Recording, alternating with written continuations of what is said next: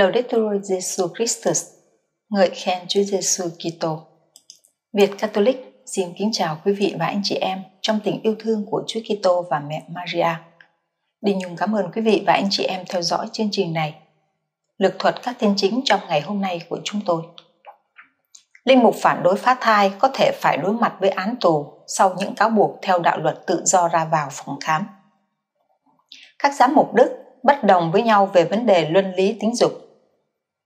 Giáo hội Công giáo Ba Lan lên án nạn nghiện rượu. Phản ứng của Đức Hồng Y Koch trước yêu cầu xin lỗi tức khắc của giám mục Bajing. Sau đây là phần tin chi tiết cùng các tin khác.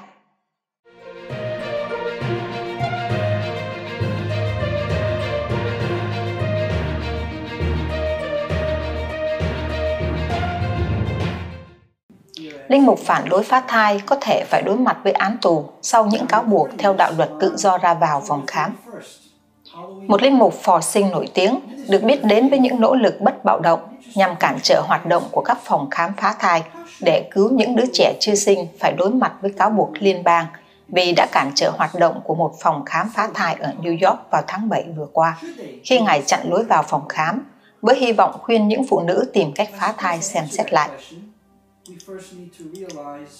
Cha Fidelis Mosinski, 52 tuổi, một linh mục của dòng Francisco Canh Tân, đã bị buộc tội theo đạo luật tự do ra vào phòng khám, gọi tắt là FACE, một đạo luật liên bang năm 1994, cấm ngăn chặn việc ra vào các phòng khám phá thai. Theo thông cáo ngày 29 tháng 9 từ Bộ Tư pháp, cha Mosinski đã đến phòng khám Planned Parenthood of Greater New York ở Hempstead, New York vào ngày 7 tháng 7 trong trang phục của dòng Francisco. Ngài bị cáo buộc đã buộc chặt lên cửa vào phòng khám một số ổ khóa thông thường và các ổ khóa dùng cho xe đạp. Một số còn được đổ bằng keo để khó mở ra. Sau đó, trong khi mặc áo dòng, Ngài đã nằm trước cổng để chặn lối vào phòng khám phá thai bằng thân thể của mình. Phòng khám được tường trình là phải đóng cửa trong 2 giờ do hành động của Ngài. Bộ Tư pháp cho biết các cáo buộc thứ nhất về việc khóa cửa phòng khám có thể coi là tội nhẹ và bị phạt cùng lắm là một năm tù liên bang. Cáo buộc thứ hai về việc ngài nằm dài trước cửa phòng khám được coi là một trọng tội. Đạo luật FACE nghiêm cấm hành vi bạo lực, đe dọa, gây tổn hại và cản trở nhằm gây thương tích, đe dọa hoặc cản trở quyền tìm kiếm, có được hoặc cung cấp các dịch vụ sức khỏe sinh sản. Teresa Bukovinec, người sáng lập và giám đốc điều hành của nhóm ủng hộ cuộc sống tiến bộ chống phá tai, đã bác bỏ các cáo buộc chống lại Mosinski trong một tuyên bố ngày 2 tháng 10. Bukovinec cho biết đạo luật FACE được ban hành chủ yếu để dập tắt các nỗ lực của phong trào phò sinh cứu các thai nhi. Cha Mosinski đã thu hút sự chú ý của giới truyền thông trong những năm gần đây vì những cuộc biểu tình cầu nguyện của Ngài trước các phòng khám phá thai và công việc của Ngài với nhóm Red Rose Rescue. Vào năm 2021, các bức ảnh chụp đám rước tại ngày cầu nguyện của nhân chứng cho sự sống ở Brooklyn cho thấy những người ủng hộ phá thai la hét, cầm biển báo và hút thuốc lá phà vào mặt Ngài khi đối mặt với linh mục Mosinsko điềm tĩnh đứng cầu nguyện. Gần đây hơn, sau khi bị bắt vào ngày 7 tháng 7, cha Mosinski nói với EWTN Pro-Life Weekly rằng Ngài biết hành động của mình trong việc chặn lối vào phòng khám có thể gây ra hậu quả nghiêm trọng và Ngài chọn hành động một mình để không liên quan đến bất kỳ ai khác. Cha Mosinski nói với người dẫn chương trình Prudence Robertson rằng mục tiêu của Ngài là làm cho phòng khám đó đóng càng lâu càng tốt để tôi có cơ hội nói chuyện với những người mẹ sẽ đến vào sáng hôm đó. Chỉ cần cứu được một đứa bé duy nhất thì cũng đáng với những rắc rối phải chịu. Ngài khuyến khích những người ủng hộ cuộc sống lần chuỗi mân côi và tự hỏi, tôi có sẵn sàng hy sinh để bày tỏ tình yêu thương với những bà mẹ và trẻ em đang có nguy cơ phá thai hay không?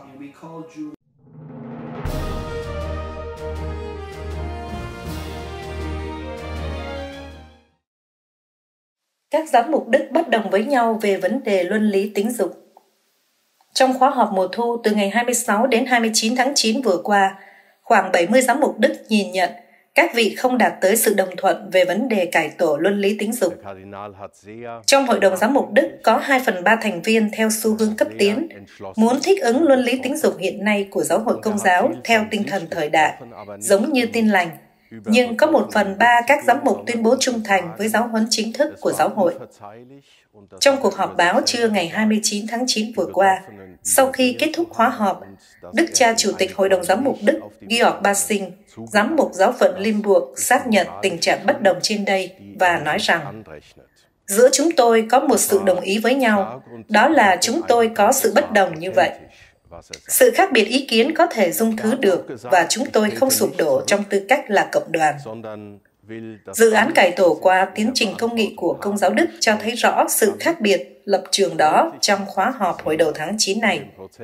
Khi dự thảo văn kiện về cải tổ luân lý tính dục công giáo không được thông qua, vì không hội đủ 2 phần 3 số phiếu của các giám mục.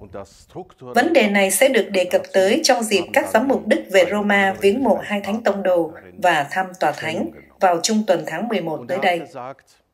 Đức cha Bassing tuyên bố trong cuộc họp báo rằng chúng tôi muốn tiến trình công nghị tại Đức được thành công. Chúng tôi sẽ đi Roma để nghe rõ ràng về sự dè dặt từ phía Vatican. Trong cuộc họp báo, Đức cha Chủ tịch cho biết các giám mục Đức tuyên bố tiếp tục ủng hộ Ukraine, kể cả về mặt quân sự Lập trường của Hội đồng Giám mục Đức là nếu một sự vi phạm công pháp quốc tế trắng trợn được tưởng thưởng bằng một chiến thắng quân sự, thì điều này sẽ có hậu quả chết chóc lâu dài. Vấn đề ở đây là một Ukraine tự do trong một Âu Châu tự do. Một đảng đối với các tín hữu Kitô có lý tưởng bất bạo động, nhưng đảng khác, giáo lý công giáo về hòa bình cũng nhìn nhận quyền tự vệ. Nghĩa vụ ưu tiên của giáo hội là thoa dịu đau khổ của những nạn nhân chiến tranh. Ở đây có sự dấn thân khẩn trương của các giáo phận, các tổ chức bác ái và cơ quan của giáo hội ở Đức, cũng như tại Ukraine và các nước láng giềng. Đức cha Bassing cảm ơn hàng ngàn nhân viên và những người thiện nguyện của giáo hội đang giúp đỡ người tị nạn.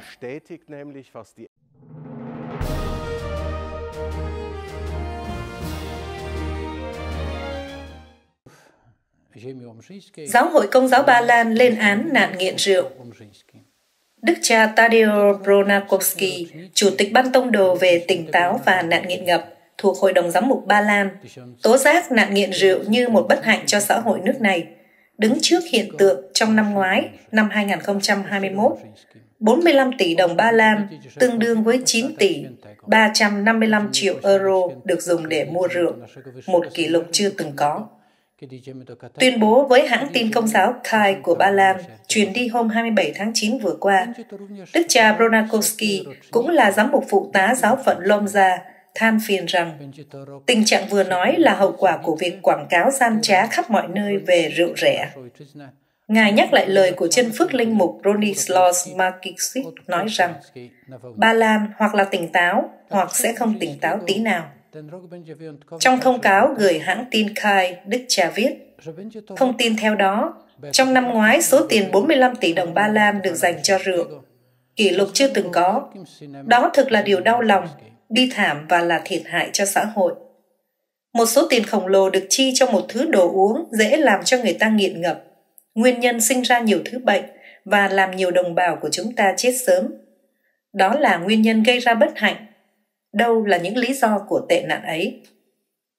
Đó là kết quả của một não trạng bệnh hoạn, phò rượu, đã đi sâu vào tâm trí nhiều người ba lan, cho rằng rượu là chất không có hại và luôn phải được có sẵn ở mọi nơi. Đó là kết quả của thứ quảng cáo lừa đảo ở khắp nơi về rượu rẻ và bao nhiêu cửa hàng tiệm bán rượu. Tôi cũng muốn nhắc nhở anh chị em lời của chân phước hồng y stefan wyszynski rằng sự tỉnh táo là một lý lẽ của quốc gia Ba Lan. Ban giám mục Ba Lan tông đồ về sự tỉnh táo và nạn nghiện ngập đã quan tâm đến sự cần thiết phải giải quyết nạn say rượu và nghiện rượu, cũng như các thứ nghiện ngập khác từ nhiều năm nay. Thông tin mới nhất phải thức tỉnh tình trạng ngái ngủ của nhiều người có trách nhiệm tại quê hương chúng ta. Những quan chức chính quyền địa phương đồng thời cũng phải động viên các gia đình và giáo hội để gia tăng chăm sóc sự tỉnh táo của quốc gia này.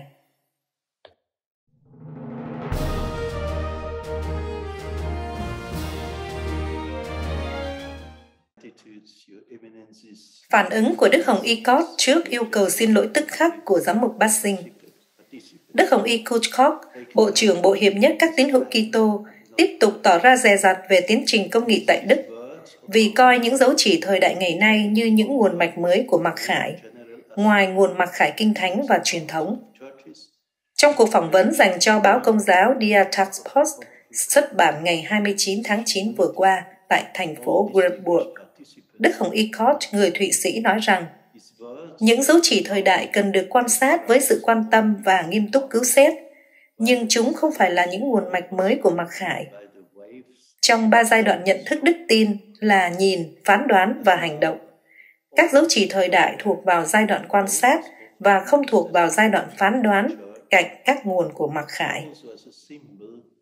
Đức Hồng Y Cott cho biết thêm rằng Ngài cảm thấy bức xúc vì lập trường của những người chủ trương tiến trình công nghị tại Đức hiện nay, giống như những kỳ tô hữu Đức thời Đức Quốc xã, coi như một mặc khải mới, sự xuất hiện của nhà độc tài Hitler. Thời đó, có một phong trào mạnh mẽ trong tin lành Đức sau cuộc bầu cử năm 1932. Đức Hồng Y Koch nhận xét thêm rằng, nguy cơ lớn nhất ngày nay là chân lý và tự do không còn đi chung với nhau, nhưng bị tách biệt trong nền thần học ở Đức ngày nay, có một xu hướng mạnh mẽ coi tự do như giá trị cao cả nhất của con người và từ đó phán đoán điều gì còn có thể được coi là chân lý đức tin và điều gì phải bị quăng xuống biển. Đức cha Georg Bassing, Chủ tịch Hội đồng Giám mục Đức đã phản ứng mạnh mẽ chống lại nhận định trên đây của Đức Hồng Y Court và đòi Đức Hồng Y phải công khai xin lỗi, nếu không Đức cha sẽ chính thức trình lên Đức Thánh Cha. Tuy nhiên, ngay chiều thứ Năm 29 tháng 9, Đức Hồng Y Cott cho biết Ngài bị hiểu lầm và không muốn làm thương tổn một ai và không hề có ý ví tiến trình công nghị tại Đức với ý thức hệ Đức Quốc xã. Tuy nhiên, Đức Hồng Y không thể rút lại nhận định phê bình về hướng đi của tiến trình công nghị này và nói rằng Đức tin Kitô phải luôn được giải thích vừa trung thành với nguyên thủy và thích ứng với thời đại chúng ta ngày nay. Vì thế, chắc chắn giáo hội phải biết những dấu chỉ thời đại và nghiêm túc cứu xét chúng. Nhưng chúng không phải là những nguồn mạch mới của mặc khải.